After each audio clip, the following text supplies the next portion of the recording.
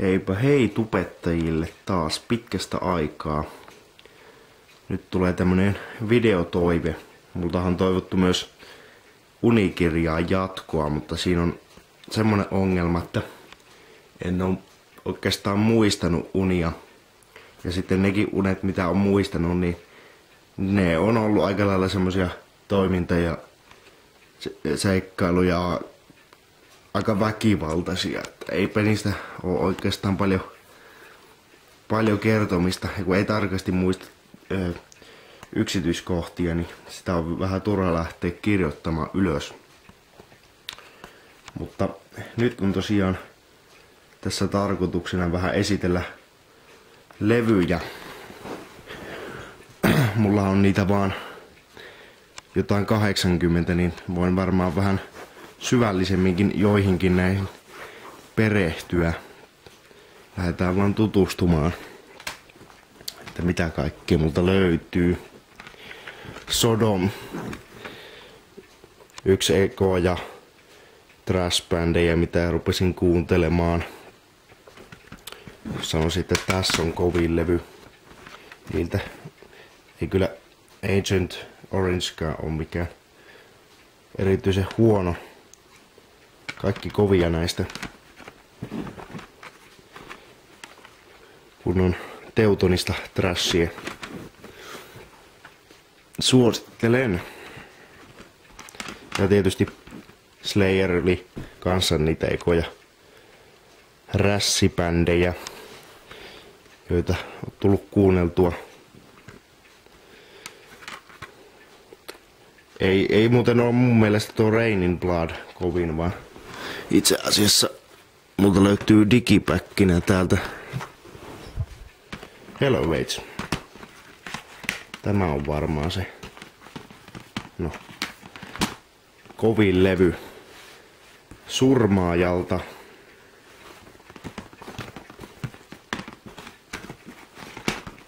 Oho. Eihän tätä osaa edes pakata oikein. Täällä on Hell Awaits, At Dawn They Sleep, Praise of Death, Necrophiliac. Kaikki aika kovia biisejä. Ei oikein mitään huonoja levyjä. Itse on kuunnellut vain ainoastaan 80-luvun Slayeria, että en mitään sen jälkeistä. Tietysti Seasons in the Abyss on 90 vuodelta, mutta sitä ei lasketa.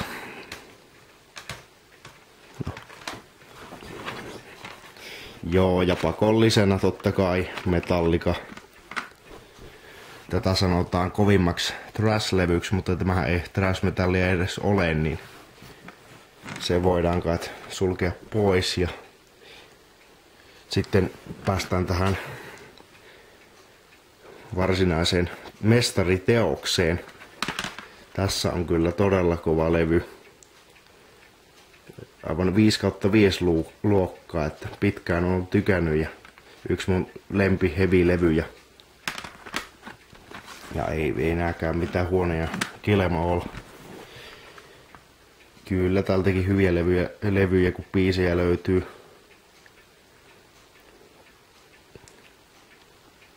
Kaiken kaikkiaan.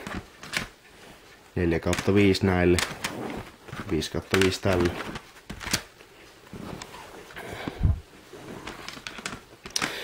Megadeth.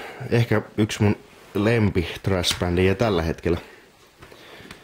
Eli hyvää kamaa on. Harmi vaan tätä ei enää mistään tunnu saavan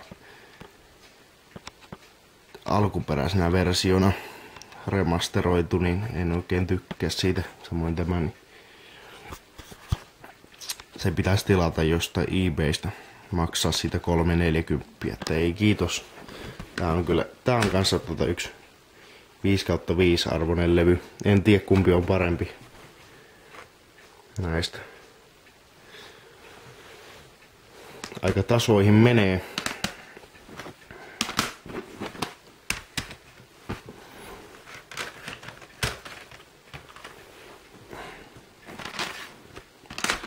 Kreatori. Ruoja. Kyllä, Tässä on varmaan yksi ensimmäisiä trassilevyjä, mitä ostin. Kova, kovaa kamaa. Tässä kuitenkin kreatorin kovin. Ehdottomasti. Täältä löytyy... No täällä ei oikeastaan huonoja biisejä olekaan, niin... Tää, tää nyt ei ehkä niin. Tää on semmoista vähän huonompaa laulua tossa, niin ei, ei oikein mille osannut silloin laulaa ja olihan sillä Ventorikin laulamassa. Niin. Kyllä. Joo. Dark Angel. Tää oli niin tota varmaan eka,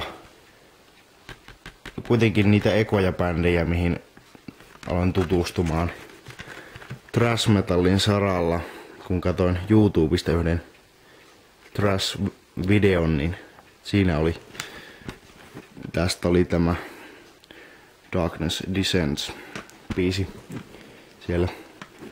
Sitten tässä on totta kai tää riffi masiina. Kyllä. Tykkään kyllä molemmasta levystä. Leave Scars vaan puuttuu. Edelleenkin kuuntelen vähemmän tosin.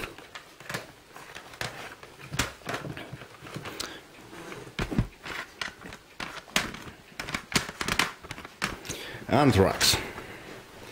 Joo. Kyllä, tämä oli kanssa näitä ensimmäisiä yhtyeitä, mitä kuuntelin. Pidän kovasti tässä ja tässä on kovimmat ehdottomasti. Nykyään en kuuntele tätäkään juuri ollenkaan. Mutta edelleen ihan, ihan hyvä bändi.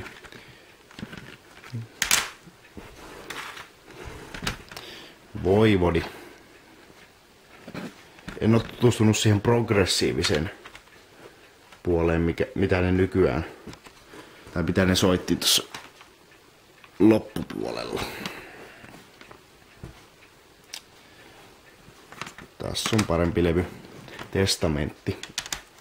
Kyllä. Kaatuu heti tuo pino tossa. Niin. Tykkään kyllä testamentista. Joo. Sepultura. Tää oli ihan hyvä tuohon vuoteen 91 asti. Mut sitten sen jälkeen niin alkoi menemään vähän pieleen tällä bändillä. Niin tässä on sitten se kovin levy. Skitsofrenia vielä puuttuu. Kyllä. Ja hieno kansikin on näissä. Sabbat. Joo.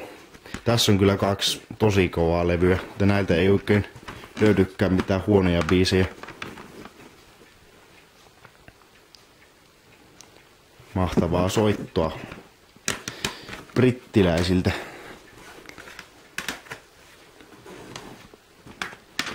Overkill. Joo. Tästä mä tykkäsin aika paljon aikoinaan. Koska tässä nyt se kovin sitten vuoden 85 lätty. Tästä mä dikkasin tosi paljon yhdessä vaiheessa progressiivista, tai oikeastaan tää on teknistä thrash metallia.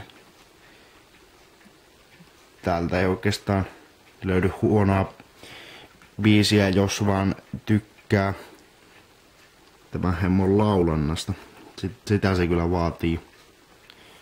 Se ei ole ehkä ihan semmoista perinteisestä metallilaulua. Kyllä, kuitenkin 5 kautta 5, jos, jos tykkää siitä. Itse en nyt en, enää kuuntele niinkään. Tää on kanssa tota tusina rässiä. Joo, tässä on aika kova levy. Saksan pojilta. Teutonista rässiä. Tykkään. Joo, tämmönen hupailulevy. No ihan mitä vaan.